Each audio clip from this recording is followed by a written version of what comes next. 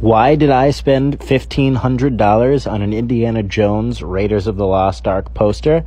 Well, A, because on the bottom, you can't really see, but on the very bottom there's fine print, and it says that any of these posters, after the movie comes out, have to be sent back to the studio or destroyed on the spot. And most of them were. They were all destroyed. They weren't meant to be kept. They weren't anything. Um, but the couple that were, they're worth a lot. The first Indiana Jones movie.